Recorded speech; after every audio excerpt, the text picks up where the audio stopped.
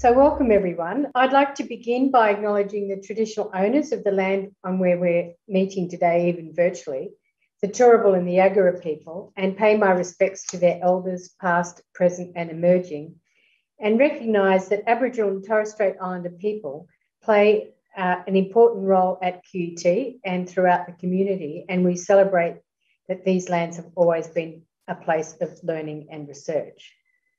It is wonderful to have the opportunity to host Dr. Cathy Foley for this STEM Summit. The summit has a theme around the importance of science as being critical for Australia's future. These past two years have shown how important our collective scientific expertise has been, both to solve global challenges and explaining difficult concepts.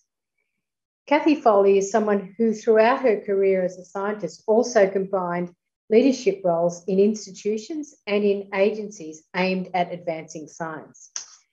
Cathy has a long career in solid state physics and material science, in particular, focusing on superconducting materials. She has undertaken both fundamental science and been involved in developing and commercialising her research. Together with colleagues at CSIRO, she developed a sensor system which has gone on to be used to detect ore deposits up to $6 billion in value. So that's not a bad project. In 2020, she was made a Fellow of the Australian Academy of Science and also in the same year appointed an officer in the Order of Australia for her distinguished service to research, science, and to the advancement of women in physics and to professional scientific organisations. She has received many other awards. She commenced her uh, role as Australia's ninth chief scientist earlier this year. And she was appointed to that after a lengthy career at Australia's National Science Agency, the CSIRO, where her last role was as the agency's chief scientist, a role she took on in, in 2018. She joins us today to shed light on how science benefits all of Australia and how she uses science to inform policy. So please welcome Cathy Foley. Thank you. Oh, hi, everyone. It's great to be here, and thanks for that lovely invita invitation to talk today to you today from Margaret. So thank you. I um, am speaking from the traditional lands of the Cammeraygal people up in northern part of Sydney, just near the Ku-ring-gai National Park. I want to pay my respects to uh, them and traditional custodians of the lands where you are today.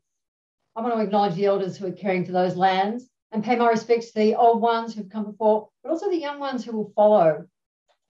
And today, I thought it'd be great to be able to share my life lessons from a STEM journey of my career. So, as Australia's Chief Scientist, it's been an amazing opportunity for me to go from being someone at school all the way through to being Australia's Chief Science Advisor to government.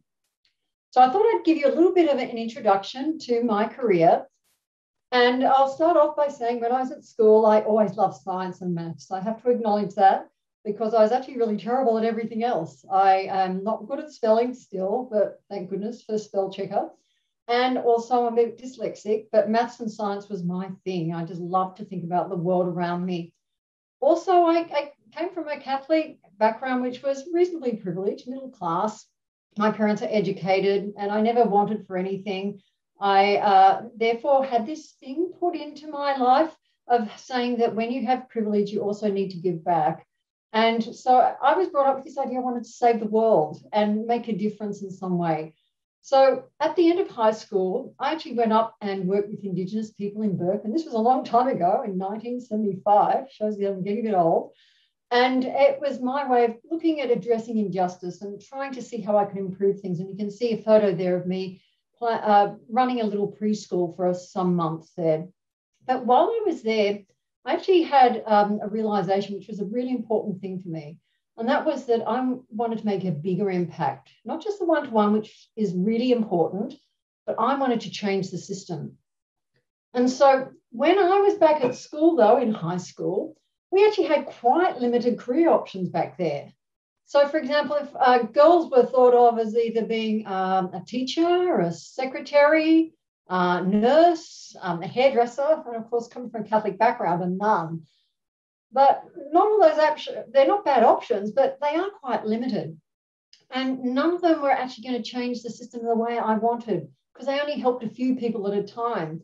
And so when I went to university, I was going to be a high school science teacher, but I discovered science and the pathway to science as a research opportunity and becoming a researcher or a scientist.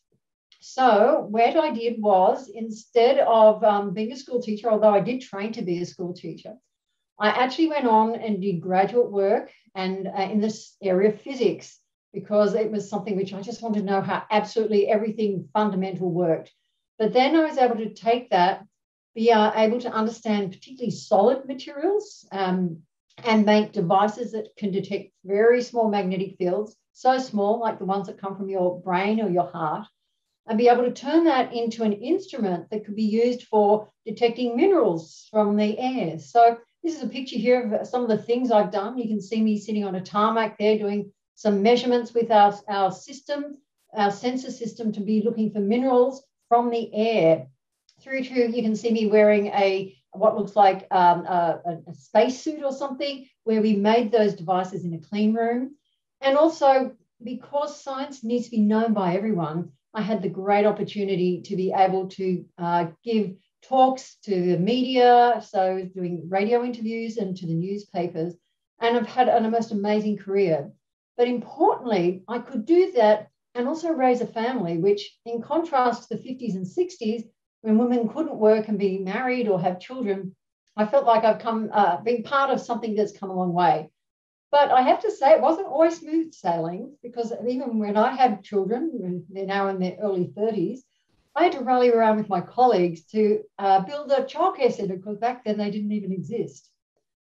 But what I uh, faced then is quite different to the world that you're going to be facing because it's really changing fast. And the future of science, technology, engineering, and maths, or STEM, is much broader than ever before. And things are coming along which are in the realm of science fiction, but they're actually here and, can, and are happening now. And that means that the careers you could be having uh, are in fields you don't even know exist yet. And here's some examples future industries are on the horizon and are being built now. And they include things such as hydrogen, which is uh, going to allow us to ship our sunshine overseas as new, clean, renewable fuel. Or in space. And often we think of space as being just astronauts, but in fact, there's a whole range of different um, roles that are needed there, which are very few are actually astronauts. And we've got the Australian Space Agency aiming to triple the size of the Australian workforce by 2030. In fact, they want to have 20,000 people working on, in space or on space industries.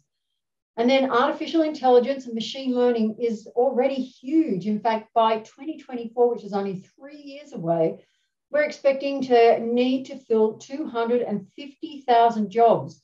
So that means that we need to have a, te- a technical um, digital workforce that will be bigger than any other part of the sector in the working sector in Australia. And then another area, which is my own personal interest, is quantum. This is a huge potential for an emerging quantum technology industry. And this is here now. It's just to let you know what it is it's the ability to get hold of electrons and photons, which are quantum particles, and we can isolate them, control them, and do things with them that allows us to, uh, well, originally the first quantum revolution was lasers and transistors but they're going to see future things which are like quantum computers. And that's going to take us to a whole new regime. We think that 16,000 jobs are going to be created in the quantum area. And already there are so many jobs there that people can't, they can't be filled. And so that's a real area for you to look forward to. But it's not just science on its own. It's what I call science plus that actually is needed because science is just one bit of it when we have a science discovery and we want to turn it into something that has impact, we need to turn that science into an engineered outcome or product that needs the design and user interface. So that means the, um, the arts and humanities are really important. We need to have the right business models so that we make sure that we're able to set it up so people will buy it. And that requires economists and, and marketing people and business people. We need governance policy and regulation, the social license so that we accept that it's something we want, and as a society we will use and, and think is a good thing, but also that whole business of making it work together. So we need entrepreneurs and people who will be marketing things so that we're aware of this. It's when all these parts come together, talk to each other all the time, that we see a really rich opportunity for our, our nation and for you for your careers. So your STEM careers may in one of those one of those areas as well. So it's not just about the science. So let's give an example from June this year of a new process that's being delivered, developed to recycle plastic into vanilla flavoring, and it's using genetically engineered bacteria. So I've taken a quick guess at some of the different roles that could be involved here, just to make this come to market. So you can see there, there's an engineer to design the recycling plant or organic chemist and biochemist to develop the process. And as I mentioned, we need the marketing and communication teams to say, will people eat it? And of course, the commercialization team and the chemical engineer to see if we can take it from the laboratory bench into a factory and scale it. So, what might your STEM career look like? Well, your STEM career might be something where you're a roller coaster engineer or a music machine engineer that learns uh, how to, for say Spotify, know what to recommend next for you to listen to. Or they're the storm trackers who are able to let us know what the weather's going to be like tomorrow. Or ethical hackers, people who are actually practice breaking into your computer in order to make sure we understand where the weaknesses are so we can mitigate for that or the fragrance chemists and cosmetic scientists. Did you know that L'Oreal is the biggest patent owner of nanotechnologies in the world? So they have huge numbers of scientists working in cosmetics. We've also got aquarists who are looking after our aquariums, or urban farmers, scientific illustrators, or pyrotechnicians who are able to create fireworks. All these careers actually require us to have STEM capabilities in our toolkit. So many of the jobs that you'll end up with actually don't exist yet, but some of the jobs that exist now actually may not exist in the future.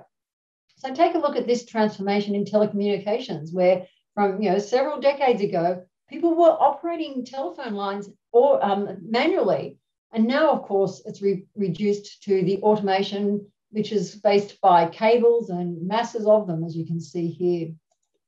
So in short, things are changing rapidly. And if I could give you a comprehensive list of every single STEM career possibility right now, it would be out of date by the time you hit university, let alone by the time you graduate. So this is a challenge, but it's also an opportunity. I often hear from students that they want to study medicine because they think it will help people. And that's fantastic. In fact, my daughter's a, a doctor, medical doctor. But I also hear that students want to help people. And so they think they have to go into medicine to do that. But I really want to plead with you to understand that every STEM discipline opens up huge opportunities to better the whole world around us, whether it's artificial intelligence and IT, whether it's pure maths or chemistry, biology, social science, and physics. So, what I'm saying here is that you need to follow your interests and your inclinations because there is no best pathway. And the world is your oyster, regardless of where you want to work and where your interests lie. So, how do you get there? As you head into your senior subjects choices and thinking about what you might want to do when you finish school, such as in TAFE or at university, it's easy to feel that you're choosing one pathway that's forcing you to abandon all others and there's only one end position to aim for. But that's so far from the truth. And I want you to think about how you can keep your options open, keep your eyes open, because at each step, it actually opens up a huge array of new options over and over again. And what we're also seeing is because of this, there are actually new ways of working, and that you're perfectly placed to surf the wave of change as we've seen happen in the last few years. Because what have we seen? We've seen COVID and we've seen digitization as a consequence of that, and it's happened really fast. Uh, we've got great, great connectivity and automation. And with that, it's created new ways of working. And that means with new ways of working, there are new opportunities. And so you're going to need to be flexible and be prepared because there's so many more things that are out there which we don't even know about yet and for you to go looking for. And it's hard to picture that there are many, many options available to you. But here's a few things that might help you visualize what you don't know about. And I've listed them there, and I hope that you'll go looking for them. So, what are my takeaways today? STEM is a great career, and I've had the most amazing one, starting from being someone who's terrible at spelling in primary school, all the way through to high school, university, going and working at CSIRO for a long time, and then finally being this role of Australia's chief scientist. You can have that career too, and it can also allow you to have work life balance like I've had. So I've had children and marriage and a happy life as well. And you can keep your options open because there are many more jobs than you know about. And there are lots of ways to save the world. It's not just through the narrow pathway of helping people one to one. So, thank you for the chance to tell you today about my ideas of where the options are for careers in STEM. And I'm looking forward to talking to you soon with uh, Margaret and answering your questions. So, thank you very much for that. Cathy, now just to turn to some questions. Uh, the first one is the future isn't a fixed destination. So, what advice would you give the summit students to help them prepare for a dynamic rather than a static future in STEM? Oh, thanks. Uh, Margaret, that's a really important question because, as you know, it's not as though we know what the world's going to look like. We've got ideas that we have to transition from the sort of world we have now to one which is dealing with low emission technologies and a whole range of things from environmental management, uh, trying to make sure we're able to feed the world. So that means that there's going to be a whole range of new jobs, which we don't know about yet. But the way to manage that is to make sure that we don't just think of finishing university, finishing school, finishing our TAFE courses, and thinking that's it. We're going to have lifelong learning. And I think we all know that we're constantly having to learn new things. I still am now. And there's so many different ways to learn stuff from teaching yourself through going on the internet and watching YouTube videos and lectures, or even um, just going through and uh, doing um, a, a, continuing education course or um, all these micro credentialing that's coming on. So I think if, if anything, if you start off though by keeping your options open, learning things which are transferable skills that can be used not just in one narrow area, but recognizing they can be used in a range of different areas. And you can then skill up um, and tighten up the requirements as, as the opportunities arrive. And the whole thing of skills development will change and evolve over, uh, over a career, which I know you and I probably have experienced as well. We certainly have. I know. Um, so thank you for that. I, I, when I think about the various um, turns that my career's uh, taken, but also have you seen a cultural shift in the last 10 years on the barriers to STEM education, you know, understanding, reception, encouragement in the uptake of STEM um, in careers and in employment? Yeah, the uptake of STEM careers and employment, I think, is in a process of shifting a lot in multiple ways. I know when I went to university, uh, the idea was that you might do a science degree or a STEM degree, and then you'd be only thinking about working in a laboratory or in a university or an academic environment. I, I worked for CSIRO for 36 years before I got this job. And, uh, and uh, it was quite a narrow idea of where the opportunities are. But I think what we're seeing now is a richness where STEM education is needed in, or STEM educated skilled people are needed in government, in the public service, in a whole range of industries, and we don't have anywhere near enough people there. And there's a real skills shortage. Uh, then we also have the ability to also work in laboratories and, and that sort of thing. So I think what we're seeing too, though, is not just people applying for jobs, but we're now beginning to see people creating their own jobs. And I think that for me is really exciting. And I wonder what what my future, my, well, my trajectory would have been like into the future if I was just finishing school now. Because I, I'm actually quite entrepreneurial. I like the idea of creating my own business. And I think we're seeing that more and more where people come up with ideas or they've invented something or some, their own research and then they want to take it out and commercialize it for themselves and start their own business. So that's something which I think is a real change and a shift And I hope we'll see more of it because it's a wonderful opportunity. And we're seeing a real explosion of that. I know you must see that um, where you are as well in your university.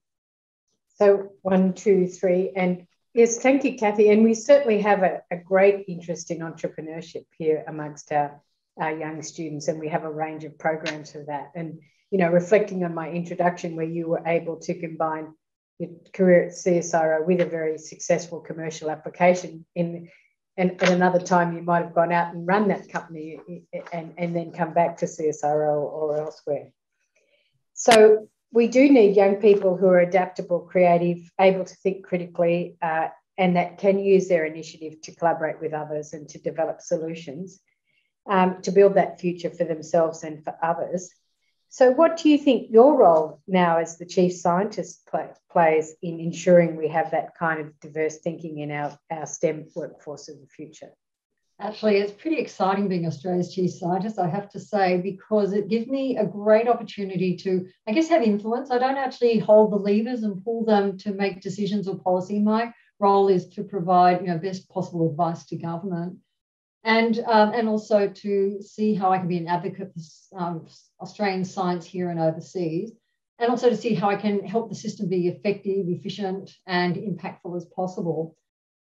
And so I guess my part of that then is my role is to make sure that we understand where STEM is needed and where the government, in the case of government, they recognise that this is the pathway in order to achieve uh, what's needed by our society. And I've got uh, something here which is really exciting from the Prime Minister. When I was appointed, he said that, that one of the reasons I was selected was because it's a pivotal time in history with the uh, recovery of COVID, we want to rebuild a, future, a bright future.